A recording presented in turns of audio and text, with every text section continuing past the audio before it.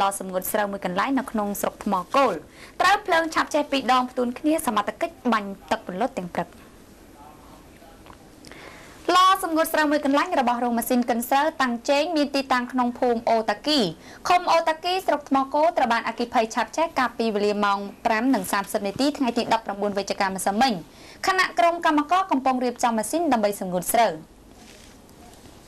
បើតាមសម្ដីកម្មករដែលនៅកន្លែងកាត់ហេតុបានប្រាប់ថាអគិភ័យបានឆាប់ឆេះចេញពីឡសម្ងួតស្រូវទាំងពុំដឹងមូលហេតុតែនោះពួកគេបាននាំគ្នាជួយពន្លត់ខ្លះក៏យកទឹកជះខ្លះទៀតក៏យកបំពង់ពន្លត់បាញ់ទើបភ្លើងបានរលត់វិញប្រភពពីកម្មករបន្តថាលុះដល់ម៉ោងប្រហែល10ព្រឹកថ្ងៃដដែលភ្លើងក៏ឆាប់ឆេះម្ដងទៀតពេលនោះម្ចាស់រោងម៉ាស៊ីនបានតាក់ទងទៅសមត្ថកិច្ចការិយាល័យពន្លត់អគិភ័យខេត្តបាត់ដំបងចេញរថយន្តពីរគ្រឿងបាញ់ពន្លត់ទៅភ្លើងបានរលត់ជាស្ថាពរ